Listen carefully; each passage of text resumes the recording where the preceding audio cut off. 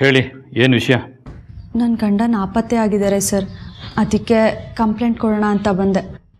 ನಿಮ್ಮ ಯಜಮಾನ್ರ? ಹೌದು ಸರ್. ಎಲ್ಲಿಂದ ಮಿಸ್ ಆದರು? ಐ ಮೀನ್ ನೀವು ಕೊನೆ ಸಲ ಅವ್ರು ನೋಡಿದ್ದೆಲ್ಲಿ ಕೊನೆ ಸಲ ಅಂದರೆ ನಮ್ಮನೇಲೆ ಸರ್. ರಾತ್ರಿ ಮಲಗಿದ್ದಾಗ ಎದ್ದೋಗಿದ್ದಾರೆ. ಮನೆಯಲ್ಲಿ ಮಲಗಿದವರು ಎದ್ದು ಹೋಗಿದ್ದಾರೆ. ಹ್ಞೂ ಅವ್ರು ಹೋಗಿದ್ದನ್ನು ನೀವು ನೋಡಿದ್ರಾ? ಸರ್ ಅವ್ರು ಹೋಗೋದನ್ನ ನೋಡಿದಿದ್ರೆ ನಾನು ಹೋಗಕ್ಕೆ ಬಿಡ್ತಿರ್ಲಿಲ್ಲ. ನಾನೇ ತಡಿತಾ ಇದ್ದೆ. ಸರ್ ರಾತ್ರಿ ಮಲವಾಗ ಜೊತೆಲೇ ಇದ್ರು. ಬೆಳಗ್ಗೆ ಎಚ್ಚರವಾಗಿ ನೋಡಿದಾಗ ಇರಲಿಲ್ಲ. ಸರಿ. ಅವ್ರು ಮಿಸ್ ಆಗಿ ಎಷ್ಟು ದಿವಸ ಆಯಿತು? ನಿನ್ನೆ ರಾತ್ರಿ ಹೋಗಿರೋದು ಸರ್. ವಾಟ್ ರಾತ್ರಿ ಹೋಗಿರೋದ? ರಾತ್ರಿ ಹೋಗಿದ್ದು ಅಂತ ಹೇಳ್ತಾ ಇದ್ದೀರಾ? ಬೆಳಗ್ಗೆ ಬಂದು ಗಂಡ ಕಾಣಿಸ್ತಾ ಇಲ್ಲ ಅಂತ ಹೇಳ್ತಿದ್ದೀರಾ?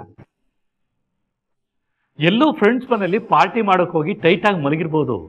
ನಿಶೆ ಹಿಡಿದ್ಮೇಲೆ ಬರ್ತಾರೆ ಬಿಡಿ. ನೀವು ಹೋಗಿ. ಸರ್ ನನ್ನ ಗಂಡ ಆ ಥರದವ್ರಲ್ಲ. ಪಾರ್ಟಿ ಗಿಟಿ ಅಂತೆಲ್ಲ ಹೋಗಲ್ಲ. ಪ್ಲೀಸ್ ಹುಡಿಕೊಡಿ ಸರ್. ಸರಿ ಇವತ್ತೊಂದು ದಿವಸ ನೋಡಿ. ನಾಳೆ ಬರಲಿಲ್ಲ ಅಂದರೆ ಬಂದು ಕಂಪ್ಲೇಂಟ್ ಕೊಡಿ. ಇವತ್ತೇನು ಕಂಪ್ಲೇಂಟ್ ಕೊಡೋದು ಬೇಡ. ನೀವು ಹೊರಡಿ. ಸರಿ ಸರ್.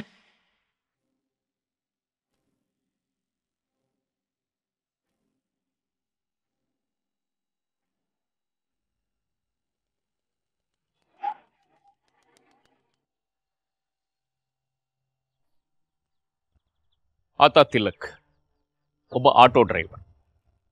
ಆತನದು ಹೆಂಡತಿ, ಒಂದು ಮುದ್ದಾದ ಮಗು ಇರುವಂಥ ಮಧ್ಯಮ ವರ್ಗದ ಕುಟುಂಬ.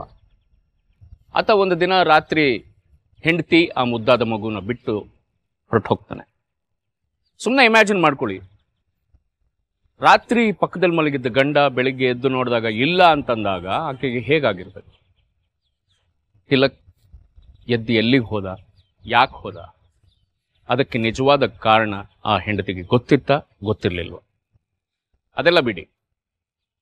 ಆಕೆ ಗಂಡ ಕಾಣಿಸ್ತಿಲ್ಲ ಅಂತ ಗಾಬರಿಲಿ ಆಕೆ ಪೊಲೀಸ್ನವ್ರಿಗೆ ಕಂಪ್ಲೇಂಟ್ ಕೊಡೋದಕ್ಕೆ ಹೋಗ್ತಾಳೆ. ಆದರೆ ಪೊಲೀಸ್ನವರು ಆ ಕಂಪ್ಲೇಂಟನ್ನು ತೆಗೆದುಕೊಳ್ಳದೆ ಎರಡು ದಿನ ಕಾದು ನೋಡೋಣ ಅಂತ ಹೇಳಿ ಕಳಿಸ್ತಾರೆ. ಆ ತಿಲಕ್ ವಾಪಸ್ ಬರ್ತಾನ.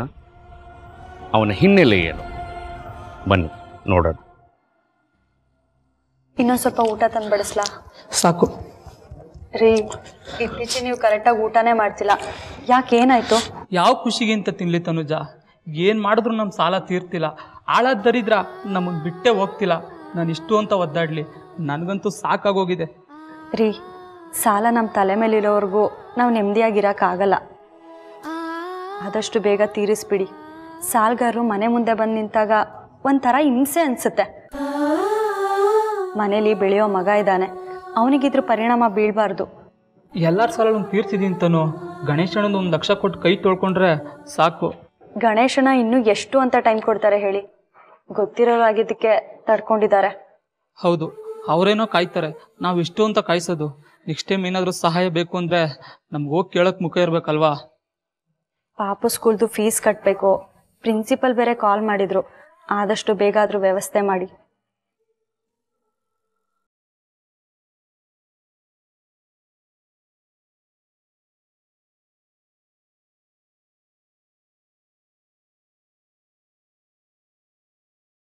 ನಮಸ್ಕಾರ ಗಣೇಶಣ್ಣ ನಮಸ್ಕಾರ ಎಲ್ಲ ಸಾಕು. ಎಲ್ಲಿ ನನ್ನ ದುಡ್ಡು? ನಿಮಗೆ ಗೊತ್ತಿದೆಯಲ್ಲ ಗಣೇಶಣ್ಣ ಇವಾಗೆಲ್ಲ ಓಲಾ ಊಬರು ಮೆಟ್ರೋ ಅಂತ ಬಂದ್ಬಿಟ್ಟು ಸರಿಯಾಗಿ ಬಿಸ್ನೆಸ್ಸೇ ಆಗ್ತಾ ಇಲ್ಲ. ಬಾಡಿಗೆಗಳೇ ಸಿಗ್ತಾ ಇಲ್ಲ ಅಣ್ಣ. ಅಷ್ಟೋ ಇಷ್ಟೋ ಸಿಗೋದ್ರಲ್ಲಿ ಮನೆ ಬಾಡಿಗೆ ಅದು ಇದು ಅಂತ ಕಟ್ಕೊಂಡು ಅಲ್ಲೇ ಸರಿ ಹೋಗೋಗುತ್ತೆ ಇನ್ನು ನಿಮ್ಗೆಲ್ಲಣ್ಣ ಅಡ್ಜಸ್ಟ್ ಮಾಡಿಕೊಡ್ಲಿ. ಏಯ್ ಕೇಳಿದಾಗೆಲ್ಲ ಇದೇ ಕತೆ ಹೇಳ್ತಾ ಇದೆಯಾ? ನನಗೂ ಕೇಳಿ ಕೇಳಿ ಕೇಳಿ ಸಾಕಾಗೋಗ್ಬಿಟ್ಟೈತೆ ನನ್ನ ದುಡ್ಡ ಪ್ರಿಂಟ್ ಮಾಡ್ತೀನ? ನಾನು ಅಲ್ಲೋ ಇಲ್ಲೋ ಅಡ್ಜಸ್ಟ್ ಮಾಡ್ಕೊಂಡು ವ್ಯವಹಾರ ಮಾಡ್ತಾ ಇದ್ದೀನಿ. ಒಂದ್ ಲಕ್ಷ ಏನು?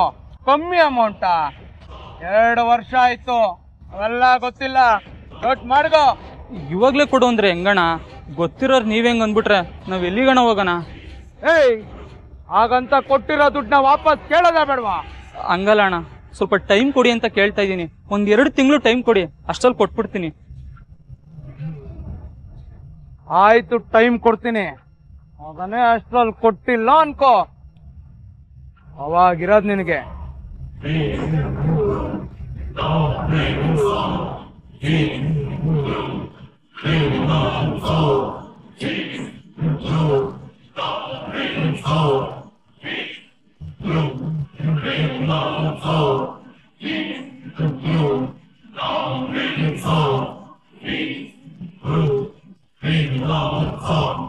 Please.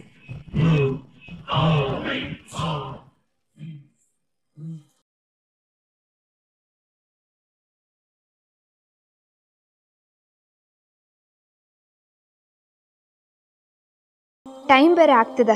ಈ ಟೈಮ್ನಲ್ಲೇ ಯಾವ ಬಸ್ಸು ಇಲ್ಲ. ಇನ್ ಟೈಮ್ಗೆ ಹೋಗ್ಲಿಲ್ಲ ಅಂದ್ರೆ ಕೆಲಸ ಹಾಳಾಗುತ್ತೆ.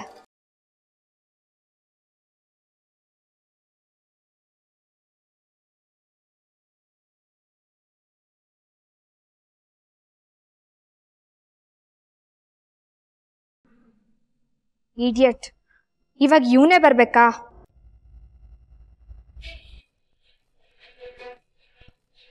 ನಿನಗ್ ಪದೇ ಪದೇ ಹೇಳಕ್ಕಾಗಲ್ಲ ತಿಲಕ್. ಸುಮ್ನೆ ನನ್ನನ್ ಕೆಣಕ್ಬೇಡ. ಆಮೇಲೆ ನನಗೆ ತಲೆ ಕೆಟ್ಟ ನಾನು ಏನ್ ಮಾಡ್ತೀನಿ ನನಗೆ ಗೊತ್ತಿಲ್ಲ.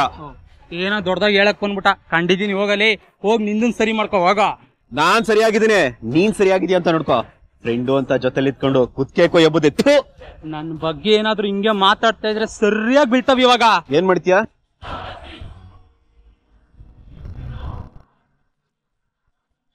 战斗！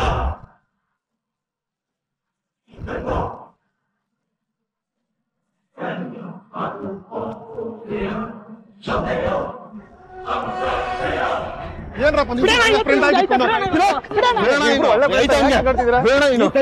ಫ್ರೆಂಡ ಹೋಗೋಣ. ಇಂಥವ್ನ ಫ್ರೆಂಡ್ ಅಂದ್ರೆ ನನ್ಗೆ ಅವಮಾನ. ನನ್ ಫ್ರೆಂಡು ಅನ್ನಕ್ ನಿನಗೆ ಯೋಗ್ಯತೆನೆಲ್ಲ ಹೋಗಲೇ ಏಯ್! ಯೋಗ್ಯತೆ ಏನ್- ಬಗ್ಗೆ ಮಾತಾಡ್ಬೇಡ? ಇವಾಗ ಹೊಡ್ದಿರೋದಲ್ಲ ಇನ್ನೂ ಬೀಳ್ತವೆ. ನೀನೇ ನಾನ್. ಜಾಸ್ತಿನೇ ಆಯ್ತು. ಐತೆ ಮಗನೇ ನೋಡ್ಕೊಂತೀನಿ ನಿನ್ನ. ಹೋಗಲೇ ಮಗ. ಇರೋ ಆಯ್ತು.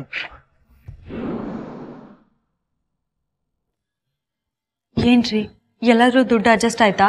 ಅಷ್ಟೊಂದು ದುಡ್ಡು ಎಲ್ಲ ಅಡ್ಜಸ್ಟ್ ಆಗುತ್ತೆ ತನುಜ. ಯಾರು ಕೊಡ್ತಾರೆ? ಗಣೇಶ್ ಅಣ್ಣಂಗೆ ಏನ್ ಹೇಳ್ತೀರಾ?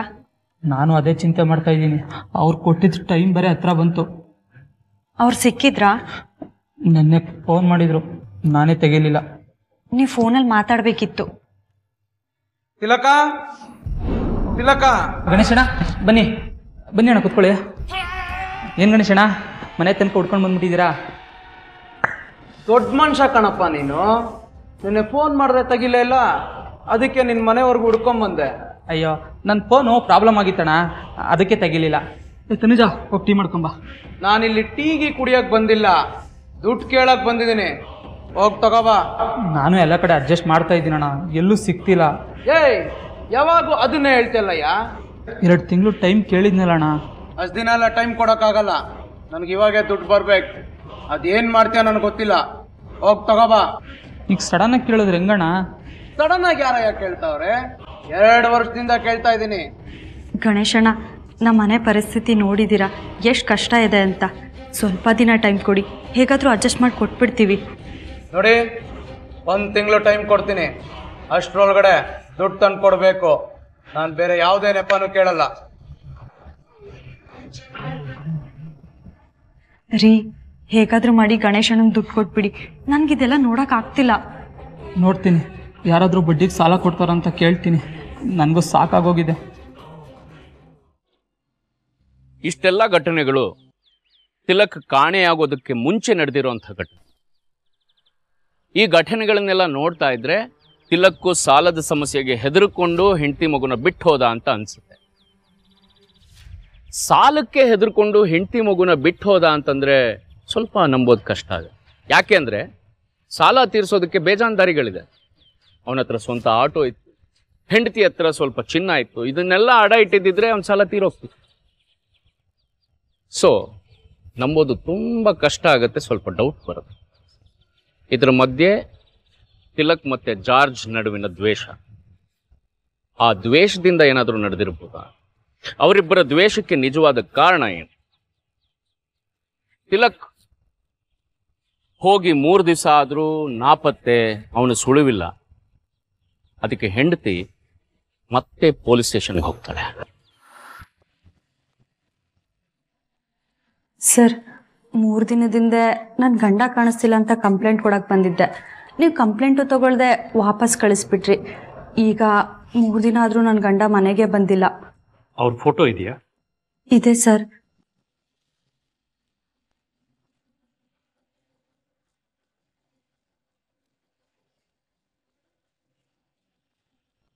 ಇವರು ನಾಪತ್ತೆ ಆಗಿರೋದಕ್ಕೆ ಏನು ಕಾರಣ ಇರ್ಬೋದು ಅಂತ ಅನ್ಸುತ್ತೆ.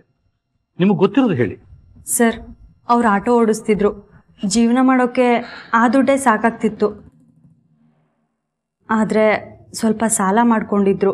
ಅದೊಂದೇ ನಮ್ಗಿದ್ದಿದ್ದ ಚಿಂತೆ. ಅಂದರೆ ಸಾಲಕ್ಕೆ ಹೆದ್ರಿ ಏನಾದರೂ? ಇಲ್ಲ ಸರ್ ಅವರು ಸಾಲಕ್ಕೆಲ್ಲ ಇದ್ರಿ ನಾಪತ್ತೆ ಆಗುವಂಥವ್ರಲ್ಲ. ಅವ್ರಿಗೆ ಪಾಪು ಕಂಡ್ರೆ ತುಂಬ ಪ್ರೀತಿ. ಅವ್ರು ಹೋಗುವಾಗ ಆಟೋ ತಗೊಂಡು ಹೋಗಿದ್ದಾರಾ? ಅದ್ರ ನಂಬರ್ ಕೊಡಿ. ಇಲ್ಲ ಸರ್. ಅವತ್ತು ರಾತ್ರಿ ಅವರು ಹೊರಗಿಂದ ಲಾಕ್ ಮಾಡಿಕೊಂಡು ಯಾರಿಗೂ ಗೊತ್ತಾಗಬಾರ್ದು ಅಂತ ಆಟೋ ಅಲ್ಲೇ ಬಿಟ್ಟು ಹೋಗಿದ್ದಾರೆ ಹೊರಗಿಂದ ಲಾಕ್ ಮಾಡಿದರೆ ನೀವು ಹೇಗೆ ಹೊರಗಡೆ ಬಂದ್ರಿ? ನನ್ನ ಹತ್ರ ಒಂದು ಕೀ ಇದೆ ಸರ್. ಅದರಿಂದ ಹೊರಗಡೆ ಬಂದೆ. ಅವರಿಗೆ ಯಾರ ಜೊತೆನಾದರೂ ದ್ವೇಷ ಇತ್ತಾ? ಇಲ್ಲ ಸರ್. ಅವರು ಅವ್ರ ಪಾಡಿಗಿರ್ತಿದ್ರು ಸರಿ. ಒಂದು ರಿಟರ್ನ್ ಕಂಪ್ಲೇಂಟ್ ಬರ್ಕೊಡಿ. ನಾವು ಹುಡ್ಕೊಡ್ತೀವಿ.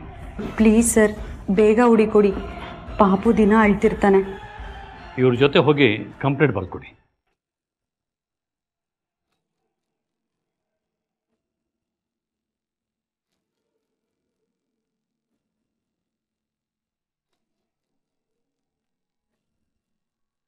ಅವ ಅಪ್ಪ ಎಲ್ಲಿ?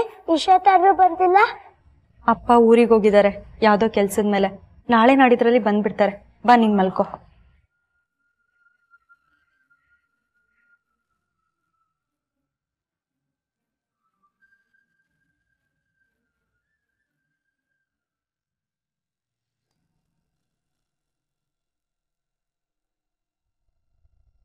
ಸರ್ ನಾನು ತಿಲಕ್ ಆಟೋ ಓಡಿಸ್ತಾ ಇದ್ದ ಏರಿಯಾದ ಆಟೋ ಸ್ಟ್ಯಾಂಡನ್ನೆಲ್ಲ ವಿಚಾರಿಸ್ದೆ ಸರ್. ಅಲ್ಲಿ ಅವರು ನಾಲ್ಕೈದು ದಿನದಿಂದ ನೋಡೇ ಇಲ್ಲ ಅಂತ ಹೇಳ್ತಿದ್ದಾರೆ ಸರ್. ಜೊತೆಗೆ ಮೈ ತುಂಬ ಸಾಲ ಮಾಡ್ಕೊಂಡಿದ್ದಂತೆ. ಆ ವಿಷಯಕ್ಕಾಗಿ ಸಾಲ ಕೊಟ್ಟವರು ಅವನ ಜೊತೆ ಜಗಳ ಮಾಡ್ತಾ ಇದ್ರಂತೆ. ಅಂದರೆ ಸಾಲಕ್ಕೆ ಹೆದರಿ ಅವನು ಸುಸೈಡ್ ಮಾಡ್ಕೊಂಡಿರಬೇಕು. ನಾನು ಅದನ್ನೇ ಗೆಸ್ ಮಾಡಿದ್ದೆ ಸರ್. ಆದರೆ ನನಗೊಂದು ಡೌಟ್ ಹೊಡಿತು. ಏನದು? ಅವನು ಸೂಸೈಡ್ ಮಾಡ್ಕೊಂಡಿದ್ರೆ ಇಷ್ಟೊಳಗೆ ಒಂದು ಬಾಡಿನಾರು ಸಿಗ್ಬೇಕಿತ್ತಲ್ವಾ? ವ್ಯಾಲಿಡ್ ಪಾಯಿಂಟ್ ಅವನ ಕಾಲ್ ಡೀಟೇಲ್ಸ್ನ ಕಲೆಕ್ಟ್ ಮಾಡಿ. ಅದನ್ನು ತಂದಿದ್ದೀನಿ ಸರ್. ವೆರಿ ಗುಡ್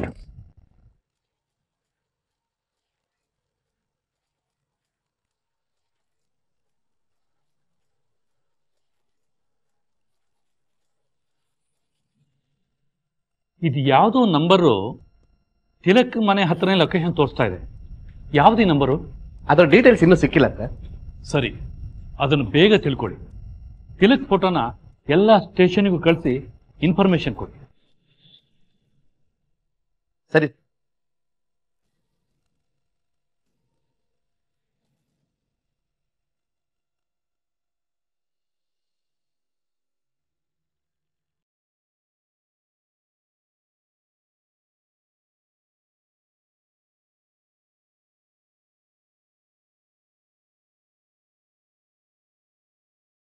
ತಿಲಕ್ ನಾಪತ್ತೆ ಆಗಿ ಮೂರು ದಿನ ಆದರೂ ಪತ್ತೆ ಆಗದೆ ಇದ್ದಾಗ ಪೊಲೀಸ್ನವರು ಕಂಪ್ಲೇಂಟ್ ಅನ್ನ ತಗೊಂಡು ಇನ್ವೆಸ್ಟಿಗೇಷನ್ ಸ್ಟಾರ್ಟ್ ಮಾಡಿ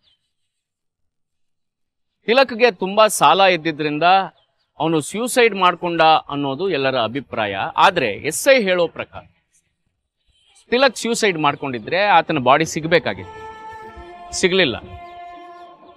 ಸೊ ಹಾಗಾಗಿ ಬೇರೆ ಏನೋ ನಡೆದಿದೆ ಅನ್ನೋ ತೀರ್ಮಾನಕ್ಕೆ ಪೊಲೀಸ್ನವರು ಬರ್ತಾರೆ. ತಿಲಕ್ ಎಲ್ಲೋದ? ಏನಾದ? ಬದುಕಿದಾನ? ಸತ್ತಿದಾನ? ಸತ್ತಿದ್ರೆ ಅದಕ್ಕೆ ಕಾರಣ ಏನು? ಮತ್ತೆ ಯಾರು? ತಿಲಕ್ಕು ನಾಲ್ಕೈದು ದಿವಸನ ಕಾಣೆಯಾಗಿದ್ದಾನೆ. ನಿನಗೂ ಅವನಿಗೂ ಪರಿಚಯ ಇತ್ತು. ನೀನು ಅವನ ಜೊತೆ ಜಾಸ್ತಿ ಕಾಂಟ್ಯಾಕ್ಟಲ್ಲಿದ್ದೆ ನಿಜ ಹೇಳು. ತಿಲಕ್ ಏನಾದ? ಸರ್ ತಿಲಕ್ಕು ನಾನು ಒಳ್ಳೆ ಫ್ರೆಂಡ್ಸು ಆದರೆ ಕೆಲವು ವರ್ಷಗಳಿಂದ ನಾನು ಅವನು ಮಾತಾಡ್ತಾ ಇರಲಿಲ್ಲ. ಆದರೆ ಇತ್ತೀಚೆಗೆ ಹಳೇದನ್ನೆಲ್ಲ ಮರೆತು ಅವನ ಜೊತೆ ಮಾತಾಡಬೇಕು ಅನಿಸ್ತಿತ್ತು. ಅದಕ್ಕೆ ಅವನಿಗೆ ರೆಗ್ಯುಲರಾಗಿ ಕಾಲ್ ಮಾಡ್ತಿದ್ದೆ. ಅವನನ್ನ ಇಷ್ಟೆಲ್ಲ ಮೀಟ್ ಮಾಡಬೇಕಿತ್ತು ಸರ್ ಆದರೆ ಅವನೇ ಕಾಣೆಯಾಗಿದ್ದಾನೆ ಅಂತ ಹೇಳ್ತಿದ್ದೀರಾ? ಎಷ್ಟು ದಿವಸ ಮಾತಾಡ್ತಿದ್ದವನಿಗೆ ಈಗ ಮಾತಾಡಬೇಕು ಅಂತ ಅನ್ಸುತ್ತೆ. ಅವನಿಗೆ ಫೋನ್ ಮಾಡಬೇಕು ಅಂತ ಅನ್ಸುತ್ತೆ. ಅವನ ಮನೆ ಸುತ್ತನೇ ಓಡಾಡ್ತೀಯ. ಈ ಮಧ್ಯೆ ತಿಲಕ್ ನಾಪತ್ತೆ ಆಗ್ತಾನೆ. ಈ ಎಲ್ಲ ವಿಷಯಗಳು ನಮಗೆ ಗೊತ್ತಿದ್ರು ನಮ್ಮನ್ನು ಬಕರ ಮಾಡಬೇಕು ಅಂತ ಅಂದ್ಕೊಂಡಿದ್ಯಾ ಅಯ್ಯೋ ಸರ್ ಏನೇನು ಅನುಮಾನ ಪಡಬೇಡಿ ಸರ್. ತಿಲಕ್ಕು ನಾನು ತುಂಬ ಕ್ಲೋಸ್ ಫ್ರೆಂಡು. ಆದರೆ ಒಂದು ವಿಷಯಕ್ಕೆ ಮಾತ್ಬಿಟ್ಟಿದ್ವಿ ಯಾವ ವಿಷಯಕ್ಕೆ? ತಿಲಕ್ ಮದುವೆಗೂ ಮುಂಚೆ. ತಿಲಕ್ ಇನ್ನು ಎಷ್ಟು ದಿನ ಅಂತ ಹಿಂಗೆ ಓಡಾಡ್ಕೊಂಡಿರೋದು? ಆದಷ್ಟು ಬೇಗ ಮದ್ವೆ ಆಗ್ಬಿಡೋಣ ಕಣೋ. ನನ್ನ ಪರಿಸ್ಥಿತಿ ನಿನಗೆ ಗೊತ್ತಲ್ವಾ? ಒಂದಷ್ಟು ಸಾಲ ಇದೆ. ಅದನ್ನ ತೀರ್ಸಿದ್ಮೇಲೆ ನೆಮ್ಮದಿಯಾಗಿ ಮದ್ವೆ ಆಗೋಣ. ನೀನ್ ಸಾಲ ತೀರ್ಸೋದ್ ಯಾವಾಗ? ನಮ್ಮ ಮನೆಗ್ ಬಂದ್ ಮಾತಾಡೋದ್ ಯಾವಾಗ? ಆದಷ್ಟು ಬೇಗ ಬಂದು ಮಾತಾಡೋಪಿಸ್ತೀನಿ ಅಲ್ಲಿವರೆಗೆ ಹೀಗೆ ಇರೋಣ. ಸರ್ ತಿಲಕ್ ಮತ್ತೆ ಅಂಕಿತ ಒಬ್ರನ್ನೊಬ್ರು ತುಂಬಾ ಪ್ರೀತಿಸ್ತಾ ಇದ್ರು. ಮದ್ವೆ ಆಗ್ಬೇಕಂತಾನು ಅನ್ಕೊಂಡಿದ್ರು. ಆದ್ರೆ ತಿಲಕ್ಗೆ ಸ್ವಲ್ಪ ಸಾಲ ಇತ್ತು. ಆ ಸಾಲ ಎಲ್ಲ ತೀರ್ಲಿ ಆಮೇಲೆ ಮದ್ವೆ ಆಗೋಣ ಅಂತ ಅಂಕಿತ ಹೇಳಿದ್ದ. ನಾವು ಯಾವಾಗ ಅವರಿಬ್ರು ಮದ್ವೆ ಆಗ್ತಾರೋ ಅಂತ ಕಾಯ್ತಿದ್ವಿ. ಆದ್ರೆ ಒಂದಿನ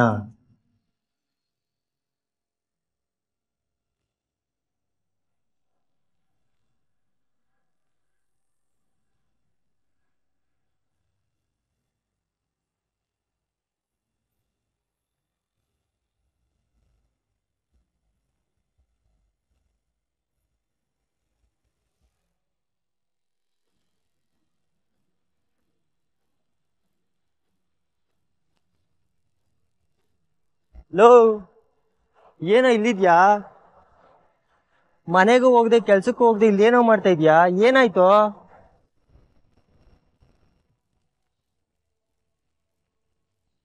ಸರ್ ಅವತ್ತು ನನ್ಗೆ ಗೊತ್ತಾಯ್ತು ಸರ್. ಯಾವುದೋ ಒಂದು ವಿಷಯಕ್ಕೆ ಅವರಿಬ್ರು ಜಗಳ ಮಾಡ್ಕೊಂಡು ಬ್ರೇಕಪ್ ಮಾಡ್ಕೊಂಡಿದ್ದಾರೆ ಅಂತ. ಆಗ ನಾವೆಲ್ಲ ಫ್ರೆಂಡ್ಸ್ ಸೇರಿ ಅವರಿಬ್ರು ಒಂದು ಮಾಡಬೇಕು ಅಂತ ತುಂಬಾನೇ ಪ್ರಯತ್ನ ಪಟ್ವಿ ಸರ್. ಆದರೆ ಅವರಿಬ್ರು ಕಾಂಪ್ರಮೈಸ್ ಆಗಲೇ ಇಲ್ಲ. ಆ ವಿಷಯಕ್ಕೆ ನಾವೊಂದಿಷ್ಟು ಫ್ರೆಂಡ್ಸು ತಿಲಕ್ ಜೊತೆ ಮಾತಾಡೋದೇ ಬಿಟ್ಬಿಟ್ವಿ. ಆದರೆ ಇತ್ತೀಚೆಗೆ ಅವನು ತುಂಬ ಸಮಸ್ಯೆಯಲ್ಲಿ ಇದ್ದಾನೆ ಅಂತ ಗೊತ್ತಾಯಿತು. ಅದಕ್ಕೆ ಅವನ ಹತ್ರ ಮಾತಾಡೋಣ ಅಂತ ಕಾಲ್ ಮಾಡಿದೆ. ಮೀಟ್ ಮಾಡೋ ಅಷ್ಟರಲ್ಲಿ ಈಗಾಗ್ಬಿಟ್ಟಿದೆ ಅಂದರೆ ತಿಲಕ್ಗೆ ಅಂಕಿತ ಅಂತ ಒಬ್ಬ ಲವರ್ ಇದ್ಲು. ಹೌದು ಸರ್. ಆಕೆ ಈಗ ಎಲ್ಲಿದ್ದಾಳೆ? Bank colony sir. ರೀ ನಾರಾಯಣಪ್ಪ ಇವ್ರ ಹತ್ರ ಅಡ್ರೆಸ್ ಕಲೆಕ್ಟ್ ಮಾಡಿಕೊಂಡು ಆ ಅಂಕಿತನ ಕರ್ಕೊಂಬನ್ನಿ ಓಕೆ ಸರ್.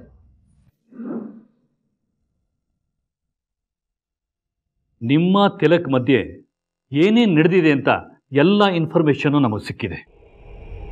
ನೀವು ಮೊದಲನೇ ಸಲಕ್ಕೆ ಬಾಯಿ ಬಿಡಲಿಲ್ಲ ಅಂದರೆ ನಮ್ಮ ಸ್ಟೈಲಲ್ಲೇ ನಾವು ಬಾಯಿ ಬಿಡಿಸ್ಬೇಕಾಗುತ್ತೆ. ಬಾಯಿ ಬಿಡೋದಿಲ್ಲ ಅಂದರೆ ನಾವು ನಿಮ್ಮನ್ನು ಬಿಡೋಕ್ಕಾಗಲ್ಲ. ತೊಂದರೆ ತಗೋಬೇಡಿ. ನೀವು ತಿಲಕ್ನ ಕೊನೆಯದಾಗಿ ಯಾವಾಗ ನೋಡಿದ್ರಿ? ಮುಚ್ಚಿಡ್ದ ಎಲ್ಲ ಹೇಳಿ. ಸರ್ ಇಲ್ಲಿ ಮುಚ್ಚಿಡೋ ಅಂಥದ್ದು ಏನೂ ಇಲ್ಲ ಸರ್. ಯಾಕಂದ್ರೆ ಮುಚ್ಚಿಡೋ ಅಂಥ ಕೆಲಸ ನಾನೇನು ಮಾಡಿಲ್ಲ. ನಾನು ತಿಲಕ್ ಪ್ರೀತಿಸ್ತಿದ್ವಿ. ಮದ್ವೆ ಆಗಬೇಕು ಅಂತಲೂ ಅನ್ಕೊಂಡಿದ್ವಿ.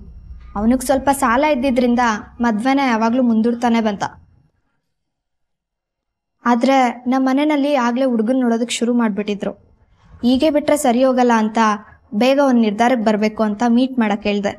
ನಾವಿಬ್ರು ಮೀಟ್ ಮಾಡಿದ್ವಿ.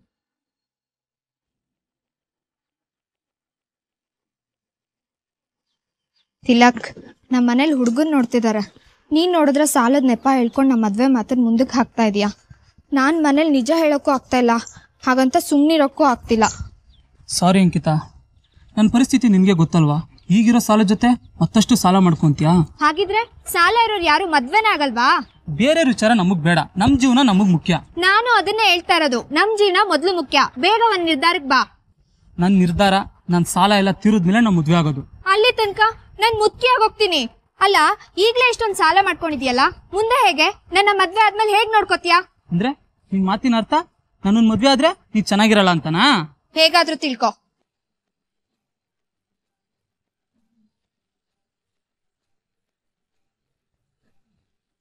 ಇಷ್ಟೊಂದ್ ಭಯ ಇದ್ರೆ ನಿಮ್ಮ ಅಪ್ಪ ಅಮ್ಮ ತೋರಿಸ್ತವ್ರನ್ನೇ ಮದ್ವೆ ಆಗು. ಓಹೋ ಹಾಗಿದ್ರೆ ಇಷ್ಟ ದಿನ ಸಾಲದ ನೆಪ ಹಿಡ್ಕೊಂಡು ನನ್ ಜೊತೆ ಸುಮ್ನೆ ಸುತ್ತಾಡದ್ಯಾ? ನಿನಗ್ ಬೇಕಾಗಿರೋದು ನನ್ ಜೊತೆ ಸುತ್ತಾಡೋದಷ್ಟೇ ನನ್ ಜೊತೆ ಮದ್ವೆ ಆಗೋದಲ್ಲ. ಹಾಲ್ಗೆ ಬಿಗಿಡಿದ್ ಮಾತಾಡು ಇಡಿಯಟ್ ಓ ನನ್ನನ್ನು ಮದ್ವೆ ಆಕೆ ನಿನ್ಗೆ ಇಷ್ಟ ಇಲ್ಲ. ಅದಕ್ಕೆ ಸಾಲದ ವಿಷಯ ತೆಗೆದು ನನ್ನ ನಂಗಿಸ್ತಾ ಇದೀಯಾ? ಹ್ಮ್. ನನಗೂ ನೀನು ಬೇಕಾಗಿಲ್ಲ.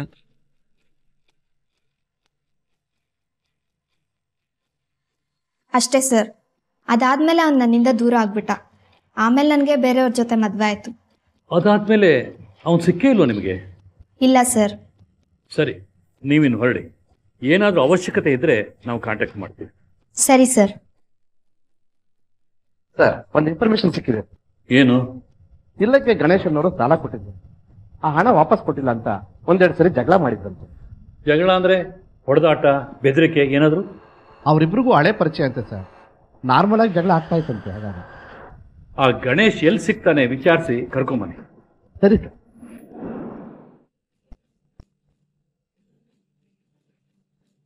ತಿಲಕ್ ಅನ್ನೋ ವ್ಯಕ್ತಿ ನಿಮ್ಮ ಹತ್ರ ಸಾಲ ತಗೊಂಡಿದ್ನ? ಹೌದು ಸರ್. ನನ್ನ ಹತ್ರ ಎರಡು ಲಕ್ಷ ಸಾಲ ತಗೊಂಡಿದ್ದ. ಅದರಲ್ಲಿ ಒಂದು ಲಕ್ಷ ಸ್ವಲ್ಪ ಸ್ವಲ್ಪ ಹಣ ಅಂತ ತೀರಿಸಿದ್ದ ಸರ್. ಇನ್ನೊಂದು ಲಕ್ಷಕ್ಕೆ ತುಂಬಾ ಕಾಟ ಕೊಟ್ಬಿಟ್ಟ ಸರ್.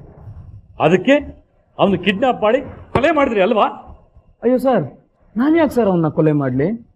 ಅವ್ನು ನನ್ನ ಸ್ನೇಹಿತ. ಜೊತೆಗೆ ನಾನು ಅವನ್ನ ಕೊಲೆ ಮಾಡಿದ್ರೆ ನನಗೆ ಒಂದು ಲಕ್ಷ ರೂಪಾಯಿ ಲಾಸು ನಾನು ಯಾಕಂತ ಕೆಲಸ ಮಾಡಲಿ ಹೇಳಿ? ಅವನ ಮನೆಗೆಲ್ಲ ಹೋಗಿ ಜಗಳ ಆಡಿದ್ಯಂತೆ? ತುಂಬ ಸತಾಯಿಸ್ತಾ ಇದ್ದ ಅಂತ ಬೈದಿದ್ದಂತೂ ನಿಜ ಸರ್. ಅಷ್ಟಕ್ಕೆ ಕೊಲೆ ಮಾಡುವಂಥ ವ್ಯಕ್ತಿ ನಾನಲ್ಲ ಸರ್. ಸರ್ ಅವ್ನು ಕೊಲೆ ಆಗಿದ್ದಾನೆ ಅಂತ ನೀವು ಹೇಳ್ತಾ ಇದ್ದೀರಾ? ಅದು ನಿಜನಾ ಸರ್? ಅದನ್ನ ಕೊಲೆ ಮಾಡಿದ್ರು ಹೇಳಬೇಕು. ಸದ್ಯಕ್ಕೆ ಅವನು ಐದು ದಿವಸದಿಂದ ನಾಪತ್ತೆ ಆಗಿದ್ದಾನೆ. ನಿಜವಾಗ್ಲೂ ನನಗೆ ಗೊತ್ತಿಲ್ಲ ಸರ್. ಆದರೆ ಅವ್ರ ಹೆಂಡತಿ ಮಗನ ಮಕ ನೋಡಿದ್ರೆ ಅಯ್ಯೋ ಅನ್ಸುತ್ತೆ.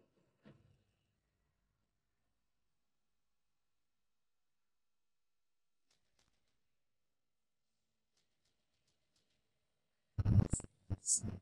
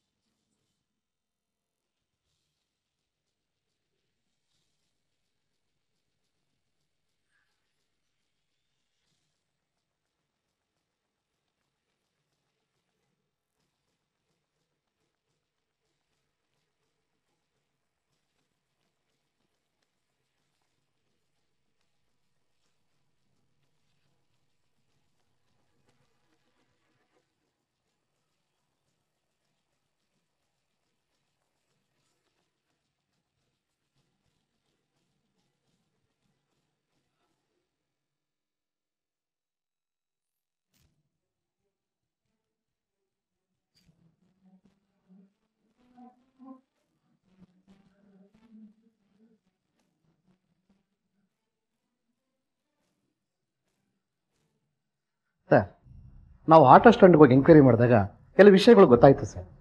ಏನು? ತಿಲಕ್ಕೂ ಇನ್ನೊಬ್ಬ ಆಟೋ ಡ್ರೈವರ್ ಜಾರ್ಜ್ ಅನ್ನೋನ್ಗೂ ಆಟೋ ಸ್ಟ್ಯಾಂಡ್ನಲ್ಲಿ ಕೆಲವು ದಿನಗಳ ಹಿಂದೆ ಹೊಡೆದಾಟ ಆಗಿತ್ತಂತೆ ಸರ್. ಜಾರ್ಜ್ ಅನ್ನೋನ್ ಜೊತೆಗ? ಯಾವ ವಿಷಯಕ್ಕೆ? ಜಗಳ ಯಾಕೆ ನಡೀತು ಅಂತ ಅಲ್ಲಿದ್ದವ್ರಿಗೆ ಯಾರಿಗೂ ಗೊತ್ತಿಲ್ಲ ಆದರೆ ಅಲ್ಲಿದ್ದ ಡ್ರೈವರ್ಗಳು ಜಗಳನ ಬಿಡಿಸಿ ಕಳಿಸಿದ್ದಾರೆ. ಆಮೇಲೆ ಏನಾಯ್ತಂತೆ? ಜಗಳ ಬಿಡಿಸಿ ಕಳಿಸ್ಬೇಕಾದ್ರೆ ತಿಲಕ್ಕೆ ಜಾರ್ಜ್ ನೋಡ್ಕೋತೀನಿ ಅಂತ ವಾರ್ ಮಾಡಿ ಹೋಗಿದ್ದಂತೆ ಸರ್. ಈ ನೋಡ್ಕೊಳ್ತೀನಿ ಅನ್ನೋ ಶಬ್ದಕ್ಕೆ ಬೇರೆ ಬೇರೆ ಅರ್ಥಗಳಿರುತ್ತವೆ. ಕಿಡ್ನಾಪು ಕೊಲೆ ಹೀಗೆ. ಆ ಜಾರ್ಜ್ ಅನ್ನೋ ವ್ಯಕ್ತಿ ಅಲ್ಲೇ ಇದ್ನ? ಇಲ್ಲ ಸರ್. ಅವನು ಮೂರು ದಿನದ ಅಲ್ಲಿಗೆ ಹೋಗಿಲ್ವಂತೆ. ಸರಿ. ಅವನ ಅಡ್ರೆಸ್ ಪತ್ತೆ ಮಾಡಿ ಅವನು ಕರ್ಕೊಂಬನ್ನಿ yes sir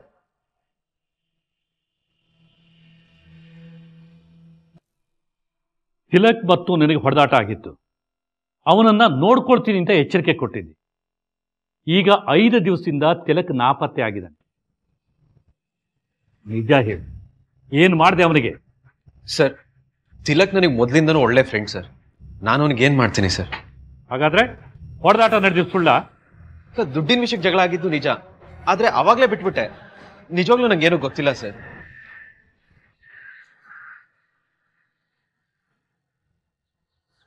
George Ganesh Nagaraj. ಇವರು ಮೂರು ಜನನ ಪೊಲೀಸ್ನವರು ಕರ್ಕೊಂಡು ಬಂದು ವಿಚಾರಣೆ ಮಾಡ್ತಾರೆ. ತಿಲಕ್ ಎಲ್ಲಿದ್ದಾನೆ ಏನಾಗಿದ್ದಾನೆ ಅಂತ ಒಂದು ಚೂರು ಸುಳು ಹಾಗಂತ ಪೊಲೀಸ್ನವರು ಸುಮ್ಮನೆ ಕೂರಲ್ಲ. ತಿಲಕ್ಗೆ ಸಂಬಂಧಪಟ್ಟ ಪ್ರತಿಯೊಬ್ಬರನ್ನು ಕರ್ಕೊಂಬಂದು ವಿಚಾರಣೆ ಮಾಡ್ತಾರೆ. ಆದರೆ ಏನೂ ಗೊತ್ತಾಗಲ್ಲ. ಮುಂದೆ?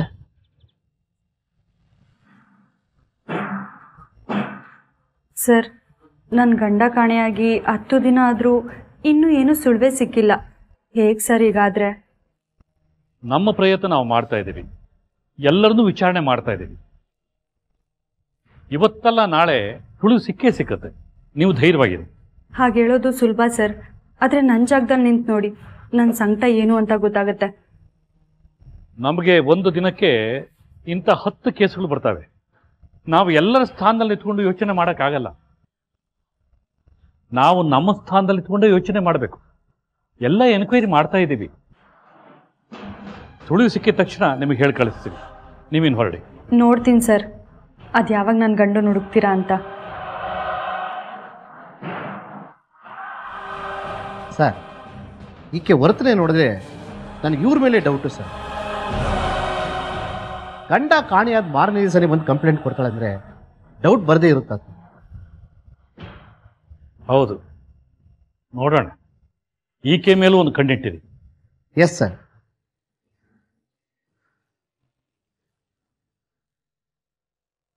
ಕೈ ಬಣದ ಸಂಘರ್ಷಕ್ಕೆ ಯುವಕ ಬಲಿ ಸರ್ಕಲ್ ಇನ್ಸ್ಪೆಕ್ಟರ್ ತಲೆದಂಡ. ಚೆಕ್ ಪೋಸ್ಟ್ಗಳಲ್ಲಿ ಕಿರುಕುಳ, ಮುತ್ತಿಗೆ ಎಚ್ಚರಿಕೆ ಆಗ್ಬೇಕು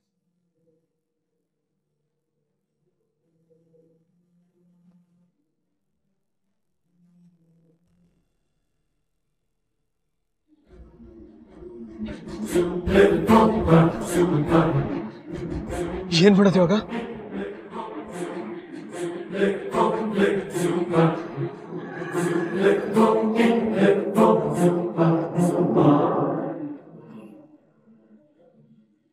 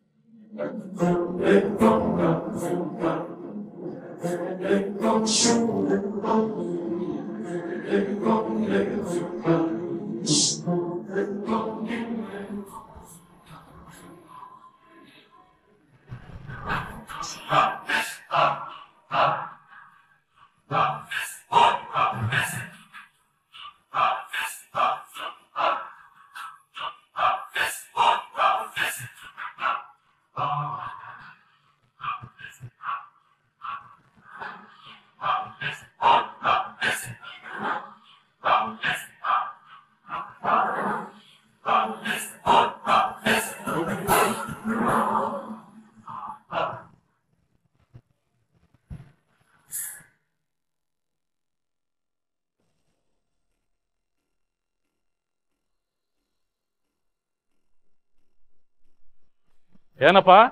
ಅಲ್ಲೇನು ಮಾಡ್ತಾ ಇದೆ ತಿಲಕ್ಕನ್ನ ನೀನೇ ಕಿಡ್ನಾಪ್ ಮಾಡಿ ಕೊಂದು ಹಾಕಿದೀಯ ಅಲ್ಲಿ ಏನೇನು ನಡೀತು ಅಂತ ಹೇಳು. ಇಲ್ಲ ಅಂದ್ರೆ ಟ್ರೀಟ್ಮೆಂಟ್ ಅನ್ನು ಇನ್ನೂ ಜಾಸ್ತಿ ಮಾಡಬೇಕಾಗತ್ತೆ. ಹೇಳ್ತೀನಿ ಅಂಕಿತಾ ಮತ್ತೆ ತಿಲಕ್ಕು ಇಬ್ರು ಒಬ್ರನ್ನೊಬ್ರು ತುಂಬಾ ಇಷ್ಟಪಡ್ತಾ ಇದ್ರು. ಅವರಿಬ್ರು ಮಧ್ಯ ಬ್ರೇಕಪ್ ಆಯ್ತು. ನನಗೆ ಮೊದ್ಲಿಂದನೂ ಅಂಕಿತಾ ಮೇಲೆ ತುಂಬಾ ಇಷ್ಟ ಆಯ್ತು ಸರ್. ಇದೇ ಒಳ್ಳೆ ಸಮಯ ಅನ್ಕೊಂಡು ಒಂದಿನ.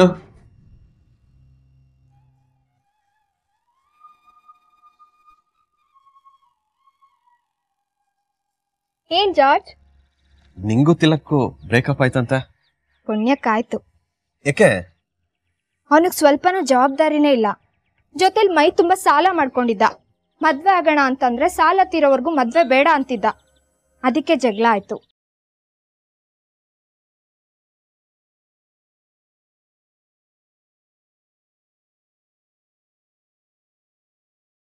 ಅಂಕಿತಾ. ನೀ ತಿಲಕ್ನ ಲವ್ ಮಾಡ್ತಿದ್ದೆ ಅಂತ ಹೇಳಿ ನನಗೆ ಹೇಳಿರ್ಲಿಲ್ಲ. ನಾನಿನ್ನ ಮೊದಲಿಂದನೂ ಪ್ರೀತಿ ಮಾಡ್ತಿದ್ದೆ. ನೋಡು ಈಗಲೂ ನಾನು ನಿನ್ನ ಪ್ರೀತಿ ಮಾಡ್ತಿದ್ದೀನಿ. ನೀನು ಹಾಕಿರೋದನ್ನೆಲ್ಲ ಮರೆತು ನನ್ನನ್ನು ಮದುವೆ ಆಗೋದಾದ್ರೆ ನಾನು ತುಂಬ ಚೆನ್ನಾಗಿ ನೋಡ್ಕೊತೀನಿ. ಜಾರ್ಜ್ ನಮ್ಮ ಧರ್ಮಗಳು ಬೇರೆ ಬೇರೆ. ಅದಲ್ಲದೆ ನಾನು ಇದೆಲ್ಲದರಿಂದ ಮೊದಲು ಹೊರಗೆ ಬರಬೇಕು. ಅದೆಲ್ಲ ಸಮಸ್ಯೆನೇ ಅಲ್ಲ ನನಗೆ. ನನಗೆ ನೀನಿಷ್ಟ ನಿನಗೂ ನಾನು ಇಷ್ಟ ಅಂದರೆ ಭಯ ಪಡ್ದೆ ಹೇಳು.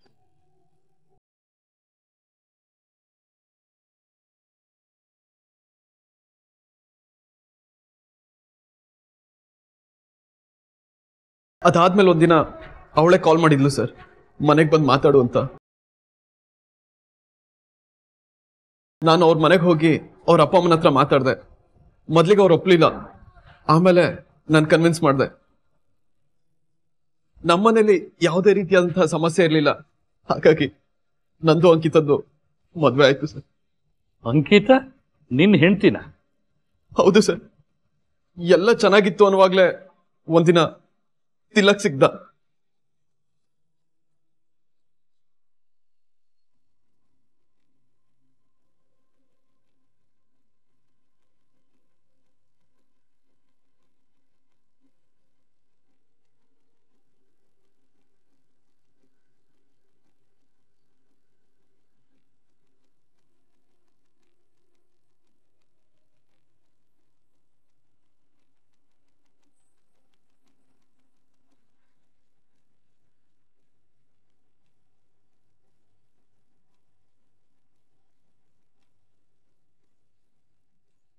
ಹಾಯ್ ಜಾರ್ಜ್ ಹೇಗಿದ್ಯಾ? ಚೆನ್ನಾಗಿದ್ದೀನಪ್ಪ. ಏನ್ ಸಮಾಚಾರ?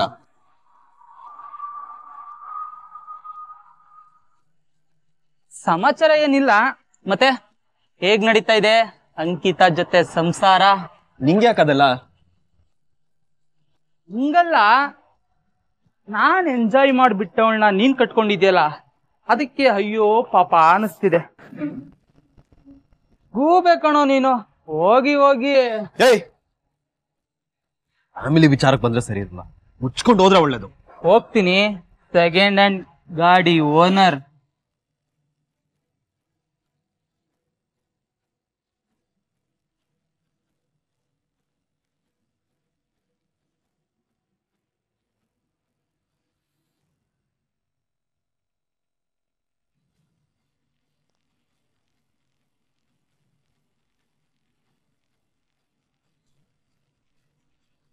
ಸರ್, ಅವತ್ತು ಅವನು ಅಂಕಿತ ಬಗ್ಗೆ ಕೆಡ್ದಾಗ ಮಾತಾಡ್ದ. ನಾನು ಒಂದ್ಸಲ ಸಹಿಸ್ಕೊಂಡೆ. ಆದ್ರೆ ಅವನು ಎಲ್ಲರ ಹತ್ರನೂ ಹಾಗೆ ಹೇಳ್ಕೊಂಬರ್ಲಿಕ್ಕೆ ಶುರು ಮಾಡ್ದ. ಅದರಿಂದ ಗೊತ್ತಿರೋರ್ಲ ನನ್ನನ್ನು ಆಡ್ಕೊಂಡು ಗೇಲಿ ಮಾಡ್ಲಿಕ್ಕೆ ಶುರು ಮಾಡಿದ್ರು ಸರ್. ಆಮೇಲೆ ಗೊತ್ತಾಯ್ತು, ಅವನ ಅಂಕಿತಕ್ಕೆ ಸಿಕ್ಕಿ ಅವಳ ಹತ್ರನೂ ಕೆಡ್ದಾಗ ಮಾತಾಡಿದಾನೆ ಅಂತ. ಅದನ್ನ ಕೇಳಿ ನನಗೆ ತಡ್ಕೊಳಕ್ಕಾಗ್ಲಿಲ್ಲ. ತುಂಬಾ ಕೆಟ್ಟದಾಗಿ ಮಾತಾಡ್ತಾನೆ ಜಾರ್ಜ್. ಸಮಾಧಾನ ಮಾಡ್ಕೊ ಅಂಕಿತ. ಅವನು ಇತ್ತೀಚೆಗೆ ಎಲ್ಲರ ಹತ್ರನು ಹೀಗೆ ಹೇಳ್ಕೊಂಬರ್ತೀಯಾನೆ. ಹಾಗಂತ ನಾವು ಅಳೋದಲ್ಲ ಅವನ್ನ ಅವನ ಮನೆಯವ್ರನ್ನ ಹಾಳ ಹೋಗಿ ಮಾಡಬೇಕು. George please. ಏನು ಗಲಾಟೆ ಮಾಡ್ಕೋಬೇಡ. ಅವನನ್ನ ಒಂದ್ಸತಿ ಕೂರ್ಸ್ಕೊಂಡು ಬುದ್ಧಿ ಹೇಳು ಹಿಂಗೆಲ್ಲ ಆಡ್ಬೇಡ ಅಂತ. ಬೇಕಿದ್ರೆ ನಾನು ಅವನನ್ನ ಕೈ ಮುಗಿದು ಕೇಳ್ಕೊತೀನಿ. ನೀನೇ ಕೈ ಮುಗಿದು ಕೇಳ್ಕೊಂತೀಯ? ಇರು ನಾನೇ ಮಾತಾಡ್ತೀನಿ.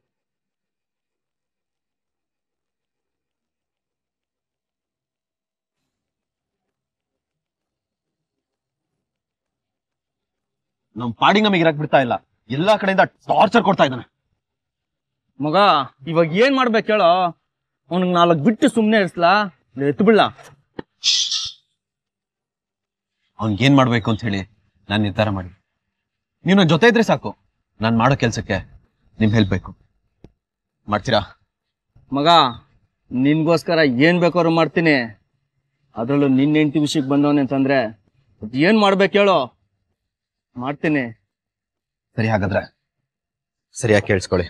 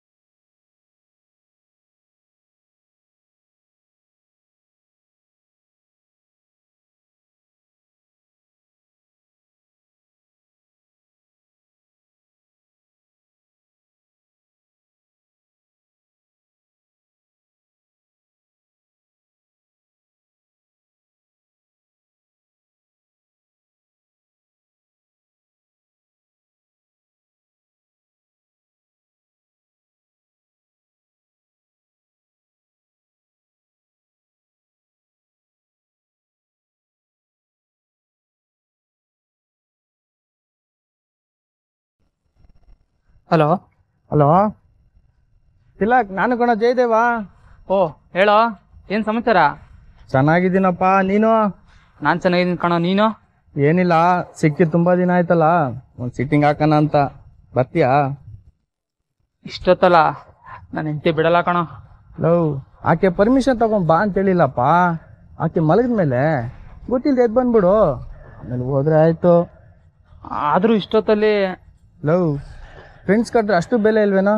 ಏನೋ ನೀನು? ಸರಿನಪ್ಪ. ಸ್ವಲ್ಪ ಹೊತ್ತು ಬಿಟ್ಟು ಹೊರಡ್ತೀನಿ. ಎಲ್ಲಿಗೆ ಬರ್ಬೇಕು ಹೇಳು? ಒಂದು ಕೆಲಸ ಮಾಡ. ಆಟೋ ಗಿಟೋ ಏನು ತರಬೇಡ.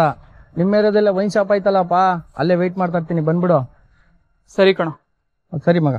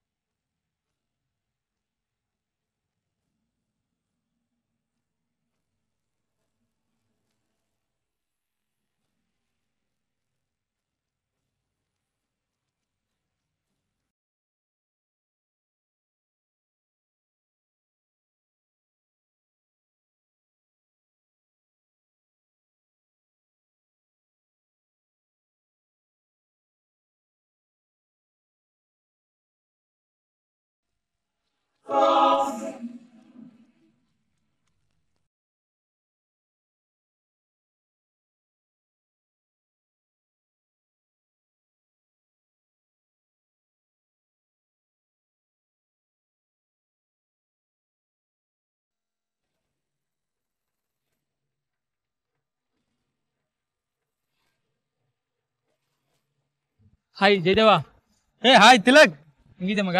ಚೆನ್ನಾಗಿದ್ದೀನಪ್ಪ ನೀನು? ನಾನು ಚೆನ್ನಾಗಿದ್ದೀನಿ ಮಗ. ಸರಿ ಬಾ ಹೋಗೋಣ. ಅಪ್ಪ ನೀನ್ ಬರೋದ್ ಲೇಟ್ ಆಗಿ ಎಲ್ಲ ತಂದ್ ಪಾರ್ಸಲ್ ಇಕ್ಕೊಂಡಿದ್ದೀನಿ. ಬಾ ಹೊರಗಡೆ ಹೋಗೋಣ. ಹೌದಾ? ಹಾ. ಸರಿ ಬಾ. ಬಾ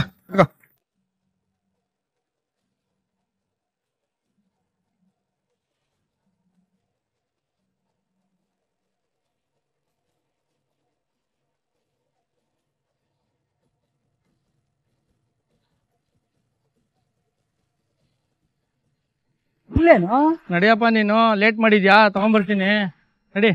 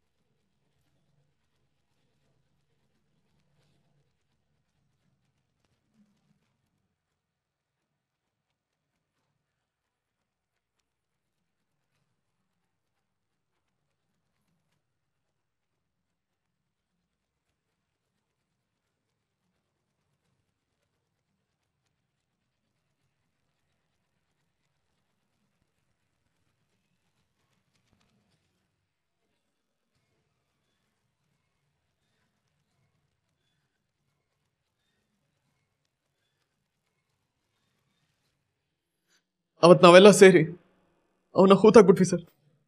ಅವ್ನು ನನಗೆ ಅಷ್ಟೊಂದು ಟಾರ್ಚರ್ ಕೊಟ್ಟಿದ್ದ. ಅದು ಸರಿ ಹೂತಾಕಿರೋ ಜಾಗದಲ್ಲಿ ಮತ್ತೆ ಕಲ್ಲು ಮಣ್ಣು ಹಾಕ್ತಾ ಇದೆಯಂತಲ್ಲ ಅದ್ಯಾಕೆ? ಸರ್ ನಿನ್ನೆ ಪೇಪರ್ನಲ್ಲಿ ಒಂದ್ ಹೆಣನ ನಾಯಿ ಹೊರಗೆ ತೆಗೆದು ತಿಂತಾ ಇತ್ತು ಅಂತ ಬಂದಿತ್ತು. ಅದಕ್ಕೆ ತಿಲಕ್ ಹೆಣನ ಯಾವ್ದಾದ್ರು ನಾಯಿ ಆಚೆಗೆ ಎದ್ಬಿಟ್ರೆ ನಾ ಸಿಕ್ಕಾಕೊಂತೀನಿ ಅನ್ನೋ ಭಯಕ್ಕೆ ಜಾಸ್ತಿ ಕಲ್ಲು ಮಣ್ಣು ಹಾಕಿ ಮುಸ್ಲಿಕ್ ಹೋಗಿದ್ದೆ. ಅಷ್ಟರಲ್ಲಿ ಅಷ್ಟರಲ್ಲಿ ನಮ್ಮವ್ರ ಕೈ ಸಿಕ್ಕಾಕೋಬಿಟ್ಟೆ. ನಿನ್ನ ಹೆಂಡತಿ ಬಗ್ಗೆ ಯಾವನೋ ಕೆಟ್ಟದಾಗ ಮಾತಾಡ್ದ ಅಂತ ಕೊಲೆ ಮಾಡ್ದಿಯಲ್ಲ. ಈಗ ನೀನು ವರ್ಷಗಟ್ಟಲೆ ಜೈಲಲ್ಲಿ ಇರ್ತೀಯಲ್ಲ. ಈಗ ನಿನ್ನ ಹೆಂಡತಿಗೆ ಯಾರು ಕಾವಲಿರ್ತಾರೆ? ಯೋಚನೆ ಮಾಡಿದ್ಯಾ? ಪರಿಸ್ಥಿತಿನ ನಿಭಾಯಿಸೋ ವಿವೇಕ ತಾಳ್ಮೆ ಇದ್ರೆ ಹೀಗೆಲ್ಲ ಆಗಲ್ಲ. ಅನುಭವಿಸು. ಹೇಳ್ಕೊಂಡವ್ರಿ. ನೋಡಿದ್ರಲ್ಲ.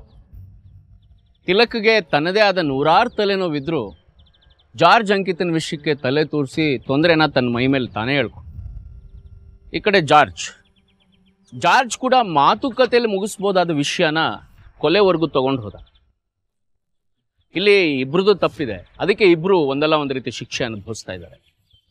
ಆದರೆ ಏನೂ ತಪ್ಪು ಮಾಡದೇ ಇರುವಂತಹ ಮುಗ್ಧ ಮಗು ತನುಜ, ಅಂಕಿತ, ಅವರು ಶಿಕ್ಷೆ ಅನುಭವಿಸ್ತಾ ಇದ್ದಾರೆ. ಅವ್ರ ಕಷ್ಟ ಕೇಳೋರು ಯಾರು?